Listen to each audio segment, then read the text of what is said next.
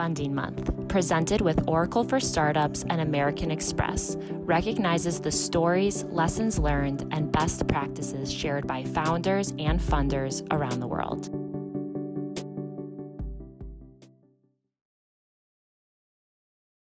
Welcome to this uh, SG Virtual, our third one in April, which is our funding month. And also welcome to Startup Grind, the world's largest community of startups, founders, innovators, and creators. And today we have really two uh, founders, innovators, and creators who will share with us their success and their path and just to remind all of you that the mission, our mission, I mean, here at Startup Grind, we would like to give startups everywhere the education and opportunities they need to build, grow, and scale their ventures. Because we believe in making friends and not contacts. You know, we believe also in giving first and not taking. And finally, we believe in helping others before helping yourself. So that's why we would invite you to, in the chat box, tell us what you are looking for, how eventually we could assist you and uh, also the community, and or how you eventually could assist other uh, grinders. And also use the chat box to ask your questions or the Q&A uh, feature uh, to ask your questions to our fireside chatters. So, but now without further ado, I would like to introduce our fireside chatters per excellence today, which are Frédéric Stiernon and Alain Tayenne. We met in uh, previous lives. So first of all, welcome Frédéric and Alain, welcome. Thank you. Hello. Thank you, Steve. Hi, everyone. So, first of all, I mean, in order to set a little bit uh, the scene, probably a lot of the users know or use your services at Carpe Diem, PayDiem, sorry. But uh, what is CarPay-Diem? How would you describe it? It doesn't matter.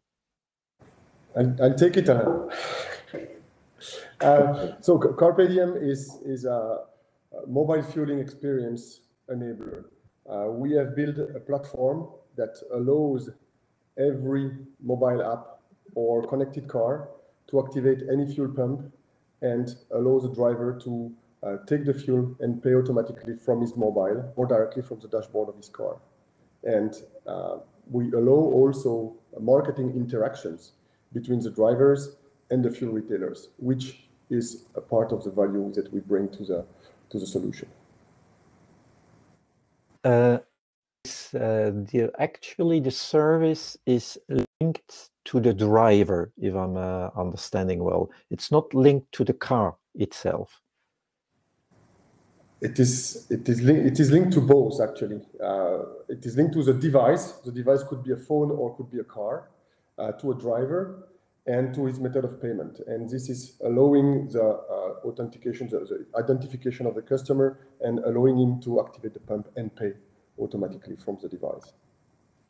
But how did you get the idea to offer to this service? I mean, did you, uh, because I know, okay, you have experience in the financial, in the payments industry, the mobile payment industry, uh, in the previous experience, but how that does the did the idea pop up for offering CarPay-Diem services? Um, so before to launch CarPay-Diem, uh, I, I, was part of, a, of, another venture that was called uh, Flashies. It was a mobile payment solution where we tried to create a payment solution that would work everywhere in every mer merchant places, uh, from from pharmacy to restaurant to parkings and so on. And we were trying to to um, uh, actually uh, create a community of users and a community of merchants. We had not a lot of traction at that time, and the company ended uh, after a few years. And then the, the, ambition was to recreate something that was in line with mobile payment, but to to manage it and to reach success, which is what we were looking for. Uh, uh, the idea was to find a place where actually uh, drivers will have a recurrent user, usage of, of the solution. And uh, fuel is uh, a very recurrent usage. As soon as you have a car, you have to fill it up. And uh, so uh, it was decided to, to go in this, in this direction. how did you start about it? I mean, okay, the idea, the the need, you saw it, and how did you go about it? I mean, uh, the team initially was it uh, you two? Were were others? Uh, how did you set the team together? Actually, the team was was, very very uh, fast, uh, very rapidly. Uh, launching a startup alone is something that is, at least I feel, very very complex. And if you don't have the, the right partner with complementary competencies, uh, it's it's really really hard. Also, to have the possibility to to make a step back and have someone to discuss with, it's it's important. And uh, then actually, this is where uh, with with Alain we started. Um, in, after after two or three months, Alain joined joined the, the, the adventure, and uh, hopefully was there because we don't have the same mindset, we don't see the same things at the same time, and and it, it's yeah, making it with two people is probably the best thing that that uh, we, we, we decided. And as and as you can see, I'm a good listener. yeah, no, the, the the idea the idea was obviously you know Fred coming from this mobile payment world experience and taking an existing ecosystem which is you know there for many many years you know which is the the fueling uh, the fueling thing and putting all this together, you know, because sooner or later, most of the payment will happen through, you know, a device, whether the device is the mobile phone like it is now, or ultimately the vehicle when it comes to fueling. But it will be a device. It could be a ring or whatever we, you know, whatever sort of science fiction things that we can see. But the the uh, that idea is was that the the the the, the, the beauty of the idea was uh, not to build an app, was to basically connect into communities. And uh, that was the, the real uh, thing in, in CarPay-Diem. And uh, that's the only innovative sort of thing because, again, fueling a car or paying with a mobile is not innovative. But uh, inserting a service or integrating a service into an existing community was the clever piece of it. So um, yeah, it was uh, it was an interesting experience from the beginning. Uh, right from the beginning, I mean, did you have the tools to offer the services, or was the the idea about devising the service and then you were looking into the tools? How did you go about that one? I think the founding principles in terms of you know how we you know uh, taught CarPay-Diem was first to to, to focus on or to keep internally three uh, pillars, if you wish. The first is uh, everything that relates to uh, uh, our intellectual property, so building the solution.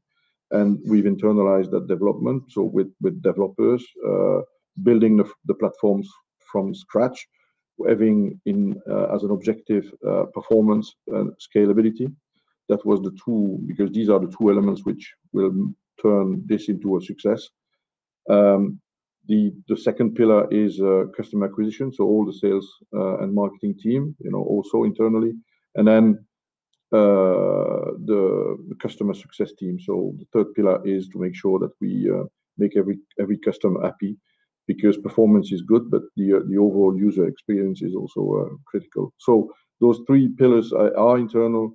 All the other functions have been externalized, and the so in terms of tools, it's more. I would probably more talk about the resources because you know we've built uh, everything from scratch on the basis of that team on those three pillars, which are now the CarPay-Diem uh, team, and we've you know very simply uh, optimized every other function so that from an operational point of view we can operate remotely. So you know for us this stupid period that we are currently uh, experiencing is a does not affect at all how we operate because we are absolutely uh, we can operate remotely without any problem. And because we've externalized a lot of those admin, you know, or boring operational functions. So um, the, the the I would say the key word for for CarPay is, is probably uh, efficiency. That's what I that's that's how I would call it. Um, efficiency at every level, outside for the clients, for us, uh, uh, at every level.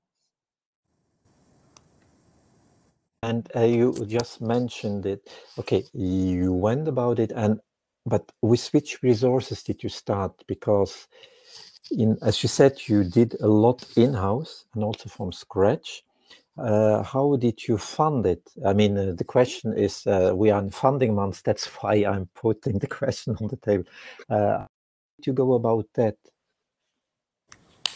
Actually, what we did is uh, we raised fund. We raised fund we made a first uh, uh, capital increase of 300,000 euro cash and 2,000 euro in, in industry.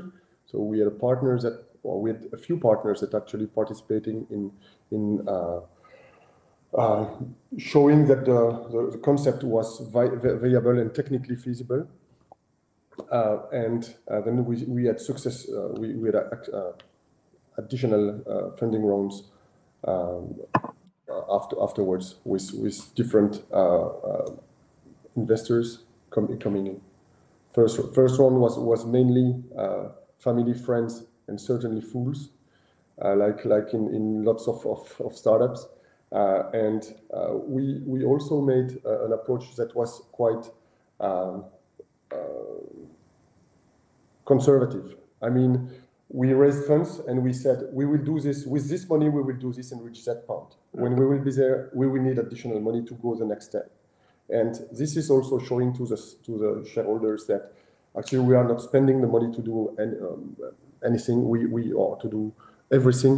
We, we we show the plan and we try to execute accordingly which is i believe something that was uh, positive for them as well yeah, because you know Fred Fred is, does excel in in uh, in in fundraising, and uh, as he said, you know uh, every every round of funding was basically targeted uh, was underpinned by uh, by deliverables, you know, round after round after round, which and it's that's quite notable is that if there's quite a number of uh, business angels who have followed us all along the journey, they have repeatedly, you know, increased their um, their investment, uh, but also, you know, we've been able to attract some uh, absolutely fantastic entrepreneurs uh, from the Luxembourg community.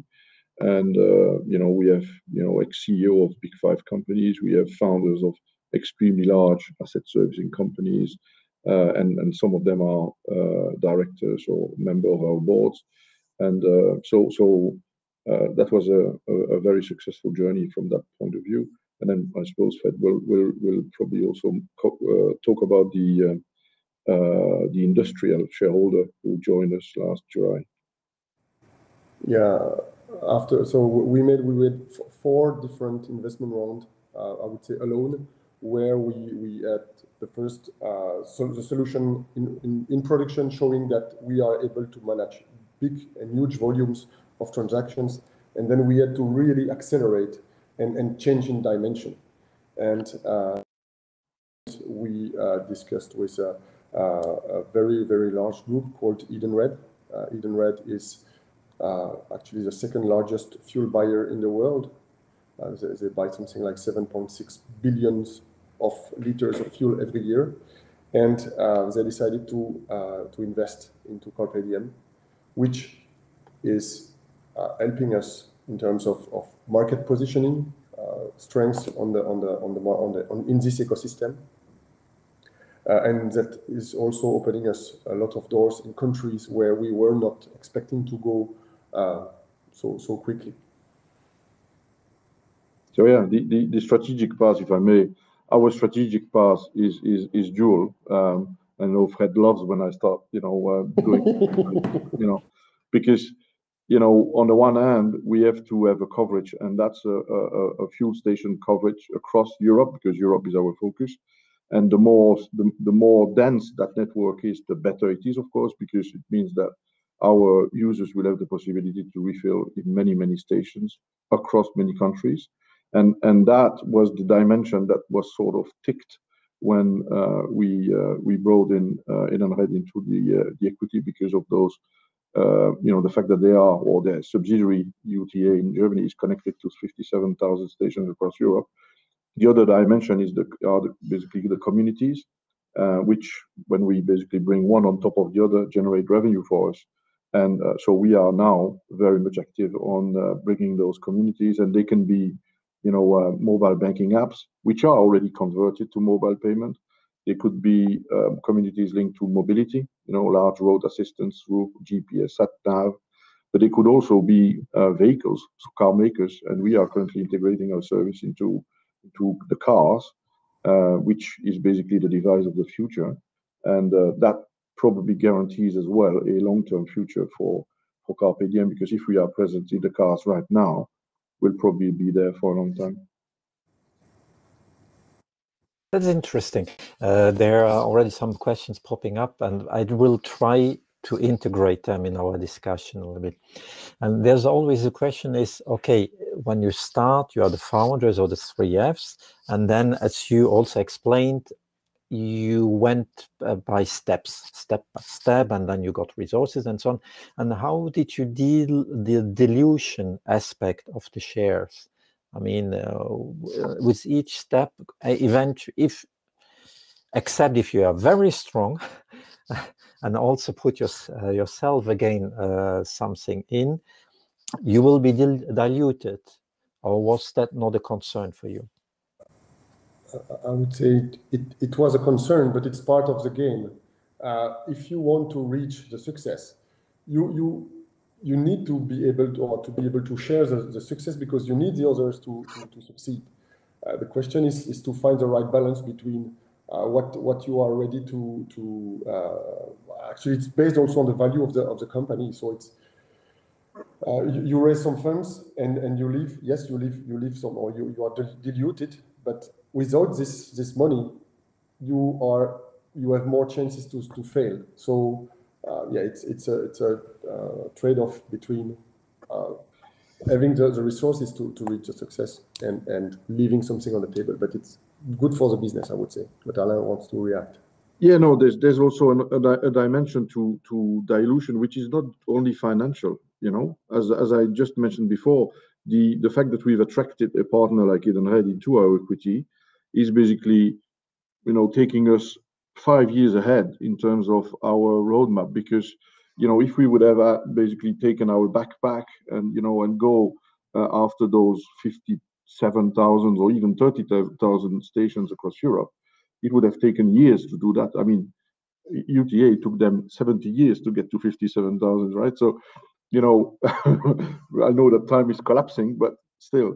So, so you know, this operation by itself, uh, of course, dilutive, but, you know, it it basically propelled us into uh, into the future in terms of the roadmap, which which was definitely worth it. So that's also an element of, uh, you know, is is you know, you you can be stronger if you are you are you are more than uh, just, you know, yourself or a couple of people sitting on a pile of shares.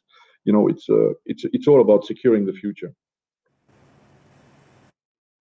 And then, coming a little bit back or in between those phases, how was it? How did how hard was it when you started or kicked off to convince your clients, the first clients? Was it an easy play, or did it take really uh, longer than you expected?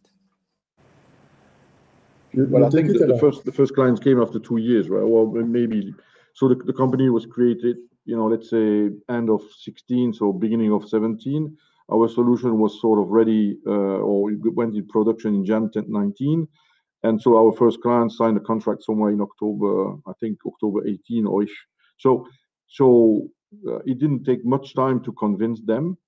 Um, and uh, so it's it's not arrogance, it's just time. Um, and then, you know, we we quickly or went from Belgium to Luxembourg, and now, you know, into France. And we we hope that, you know, uh, by the end of the year, we will add at least Germany and Italy with certainty, and possibly um, Spain for the for the uh, most or the largest countries. But we also already have opportunities to go, you know, uh, Central Europe. And, you know, we have thousands of stations opportunities across Central Europe as well. So the the the the the I believe, we believe that uh, we are not adding a payment method or another payment solution, right? It's not what we are doing. What we are doing is lead generation. We bring business to uh, to the fuel retailers, and we give them the possibility to know their driver and to treat them well and bring them where they where, where they want to go or where they want them to go. And and that's an original. That's definitely an original positioning, which is very uh, uh, successful with the fuel retailers, I must say. So, um, uh, and we still have so many things to do, of course, but uh convince to convince the fuel retailers is is not is not the most difficult part. Yeah. The first customer, we had what we call the chicken and egg issue. We had technology to connect to the stations, and when we were meeting the fuel retailers, they say, "Yeah, we could work together, but when when you will have users?" And when when we were discussing with with the communities, they say, "Yeah, we can work together, but when we, when, you when you will have fuel stations?" And, and so there is a time uh, matching that that happened, and this started the whole stuff. And when it started, actually, uh, we we executed as, as expected. That's quite interesting. And a little bit coming uh, back to what were saying, I mean, did you, from the beginning, have the the let's say so the did you know that for offering your services, you were addressing the right target, or did you adapt your target uh, over the time uh, over developing? I think if uh, while Fred is, you know, seems to be thinking hard, uh, uh, we we, we had a sort of a we had a sort of a fork. I mean, this B2B, so connecting to or partnering with the fuel card issuers like UTA, like we've just mentioned, that partnership became obvious to us along the way. So it was not uh, you know, by design from the very beginning. You know, when we were basically uh, uh, engaged on this on this journey, we realized that by uh, partnering with those guys, we could accelerate and and collapse the time in terms of network acquisition, fuel network acquisition. So that was the major fork that we that we went, and that's back into the late 2018 that we said, you know, we'll probably need to to talk to these people and see if they could be interested to partner. And then a partnership you know, resulted into you know an investment, as it is usually the case. Um, so that that was a major discovery along the way, I would say. Yes, that was our major discovery. For the rest, we are pretty much executing along the roadmap and and the plans that we that we had where we had to tweak. We also, because we are a digital marketing organization now, we are not you know payment we don't do, we support. Uh, it's really digital marketing that we do. And we also discover because digital marketing is exploding and you know completely changing all along with this, you know, everything that happens with the with those social networks thing. We also discover a lot and learn a lot. And uh and we also see that we uh, we can even bring more than what we thought from the beginning. So that's very interesting, too. There's uh, one question a little bit linked to that. What you were also saying is your clients, I mean, it's your B2B, your clients, did they uh, used when they used your service, Did were they immediately grasping the added value of your service, or did it take some time? And as you said, i mean you were learning along the road with them what they are looking for and so on. Um, how was that? Because that's also uh, the question is, okay, how difficult was it uh, to get uh, to convince them and to get them to use it correctly? Because you are using a serv- uh, offering a service which is between quotation marks, an added value and obvious, but so far it hasn't been done, and that's why the question came. I would say there are two two parts for for to to, to answer this question. Uh, the value we we bring is, we believe, obvious, at least for the drivers, at the start for the drivers, because when they start using the service, we see a 90% recurrence usage, meaning that when you start using it, you continue to use it. So it means that it gives you something. positive, I mean. Um, on the other side, uh, the marketing platform that we bring to the fuel retailers is also something that is uh, in use and that shows strong results. I mean, the fuel retailers are able to target profile of users and uh, display them specific or provide them with specific uh, discount on fuel prices depending on their profile. And we see that every time there is a campaign, there is an increase of the usage because the targets set by the fuel retailers help actually to activate the, the usage of the service. So this proves that what the, the tools that we've been uh, that we have implemented between the drivers and the fuel retailers uh, provide the, the right value to the drivers because they use it and to the fuel retailers because every time they communicate with the drivers, it increases the usage. Yeah, it, which and, and uh, just on the, um, uh, the, did the customer realize the value? It was funny because our first customer, I mean, there's no secret, it's Colruyt with the DATS 24 stations in Belgium, and and and really these guys have basically contracted with us more like, a, you know, let's do a test. You know, I mean, they are innovators. You know, I mean, they are innovators. Certainly, they were. They have a lot of uh, liquid gas stations. They are already into hydrogen. So so they said, let's do a test, and they were absolutely astonished by the response, like us, actually. I mean, we will we have basically you know uh, exceeded 1.3 million transactions now after two years of production and one year of COVID. So uh, um, they were absolutely amazed by the by the results. So our experience was like we've basically experienced the before and the after of mobile payment into fuel stations because when we started to tour the fuel networks there was not a lot of contenders. There was not a lot of uh, uh, similar experience live or, or even used. I mean, there, we had a, a, competitor in Holland. Um, there was some sort of initiative in uh, in Spain, but there was nothing. And now we see that there are a lot of companies structured uh, that are we have uh, uh created or we have experienced a competitive landscape, and it's very interesting because again, our positioning as a digital marketing platform is unique. The others would take a, probably more like a mobile payment angle. So, so that that that was very interesting to see the the evolution in such a short period of time. And then, uh, I mean, you touch upon it uh, because there are some questions coming in uh, about the competition or the market, the competitive landscape. Your services do uh, does the users know that you are providing the services, or is it uh, uh, maybe white label, or is it branded from the retailer? No, I mean, our clients don't, the, the end user, they, they don't see CarPay-Diem. That's a very good point. Um, you know, because we work through through communities, the um, if you are in Luxembourg, you will you will use the Bill app to uh, and soon another one to um, uh, to access the stations. If you are in Belgium, you will have DATS 24, Belfius, and others. Um, so so they don't know about uh, so the end user don't know about CarPay-Diem, and and that's okay. You know, I mean, uh, uh, what what we do in essence, does not expose us to the uh, wider audience.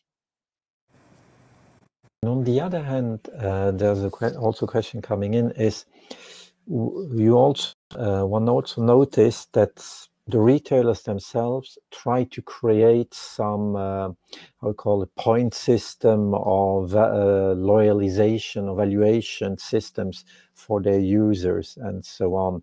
Uh, you get everywhere, you get now a card, um, uh, or uh, which is also digital. Each time, I mean, you go to the gas station of that brand, you show it and then it's put on it and so on. Um, is that something which you see as complementary or more like between quotation mark a threat? I mean, is it an opportunity or a threat for you? A threat, baby. So just sit back and relax and listen. no, it's it's it's clearly clearly an opportunity um, because there are different kind of, of fuel networks, and uh, some of them have big machines to manage loyalty, some others have almost nothing unless a punch card in, in, in paper. Um, and with this kind of cards, they don't have any access to the customers. They don't know when the card is, is gone, is, is back to the station and they get a, I don't know, a car wash or a sandwich. They even don't know the, the they don't have any way to, to reconnect with the customer and so on.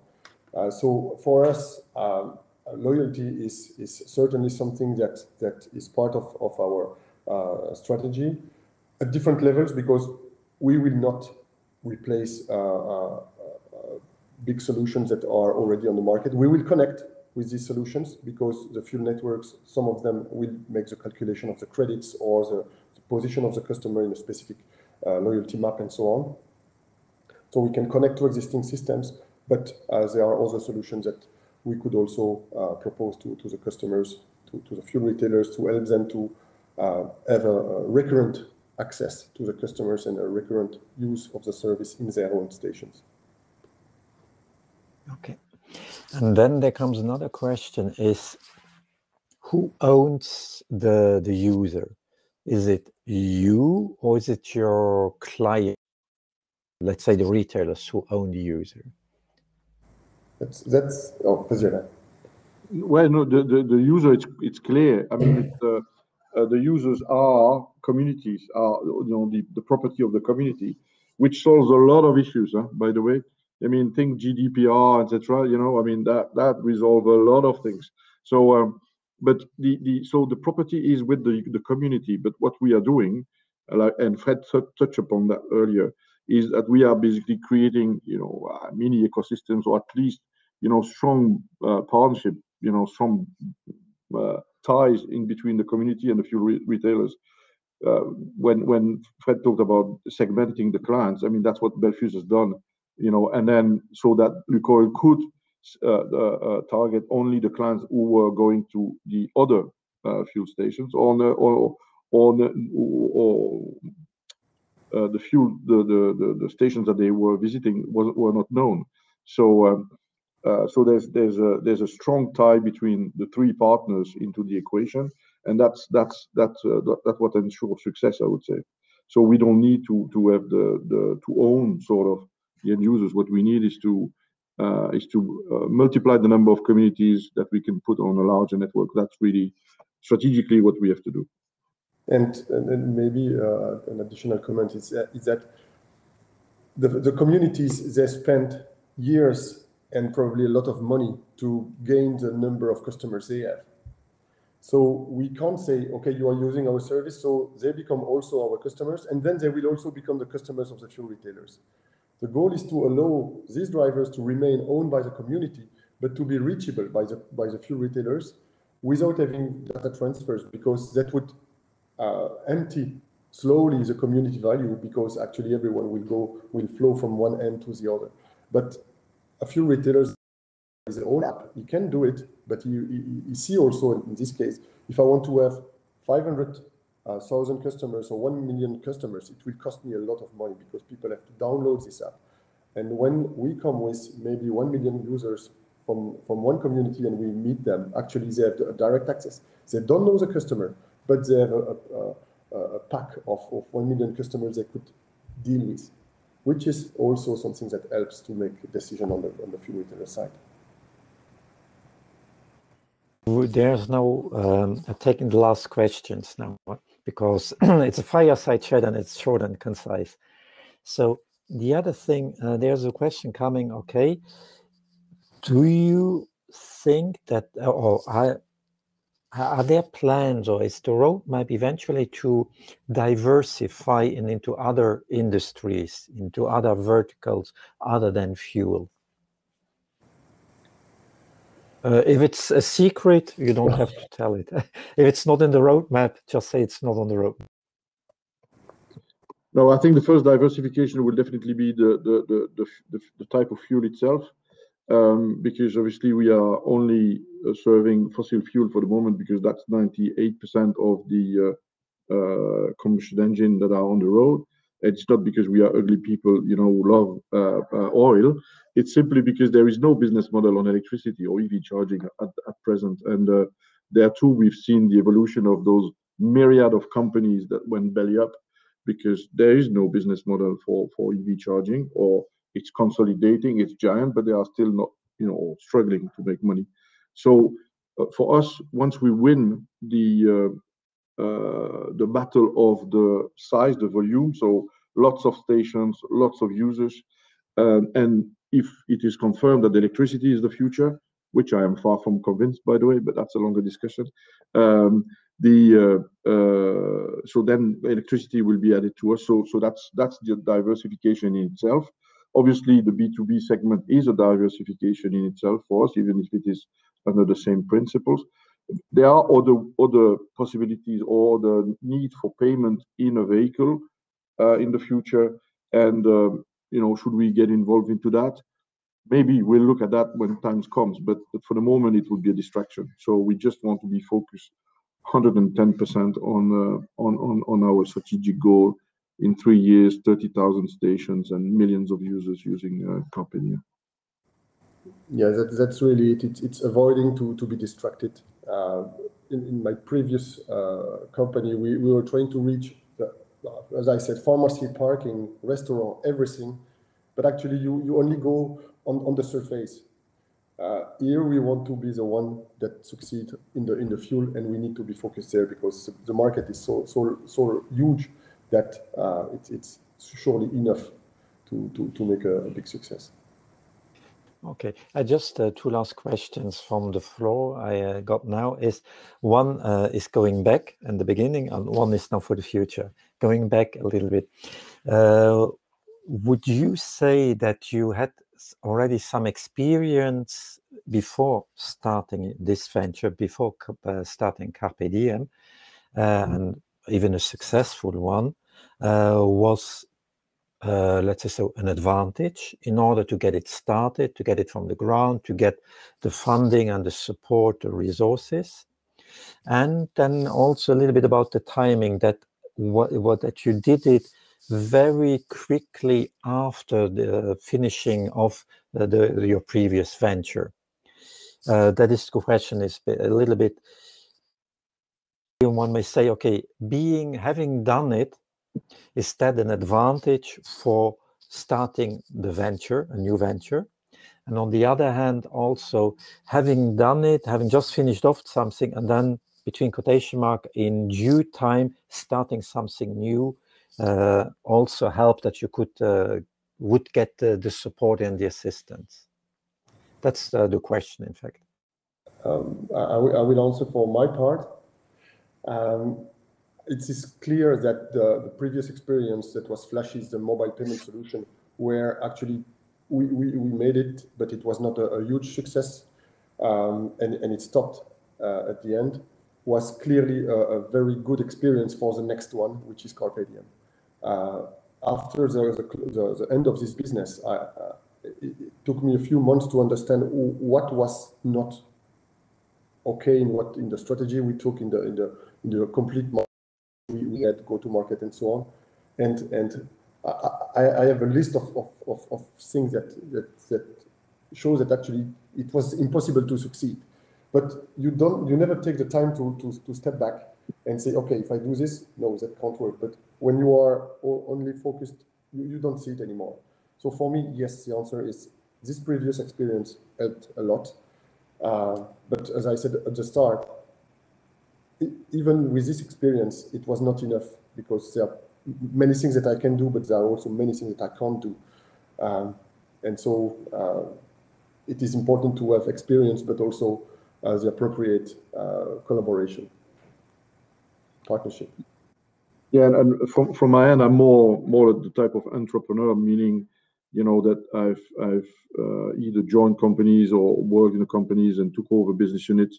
You know, those ugly little ducks that are basically losing money all over, and turn them into nice things and and and sold them to private equity even even twice for some of them. And uh, so so and and obviously experience the entire cycle, uh, like from taking a, a business and selling it or buying businesses. So that's that's very important. But the key the key message here, you know, because if you uh, think about the questions and, and probably the, the, the the reasoning, the rationale behind the question is, if you don't have a uh, a skill, and and which is not ob- obvious to acquire, go get it elsewhere. Don't try to acquire by yourself because well, you, you, can, but you will lose time, you will lose opportunity, and you might you might fail in the end. So key skills are absolutely key to to to to either have or acquire. You know, get into your venture. so so you go as fast as you can and with the little risk as possible. Thank you very much. That was it for the fireside chat.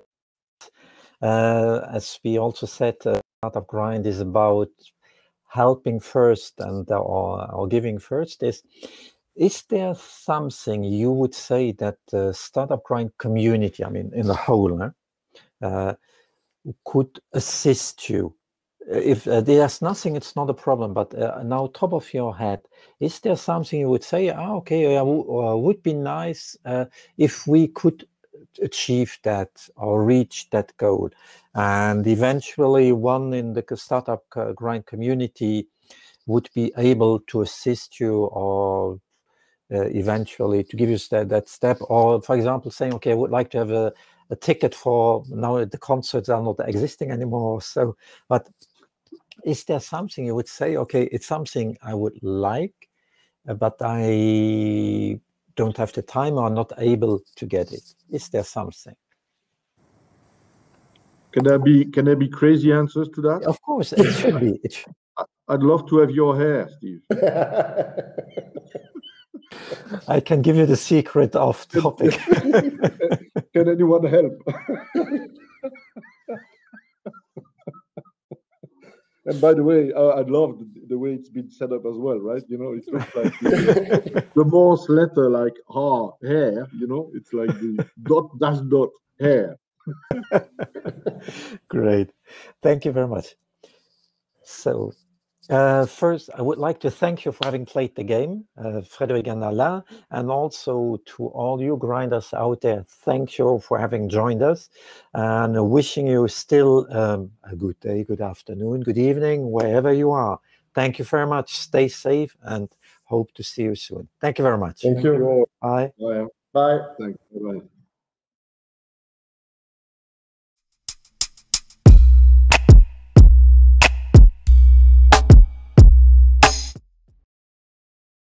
Funding Month, presented with Oracle for Startups and American Express, recognizes the stories, lessons learned, and best practices shared by founders and funders around the world.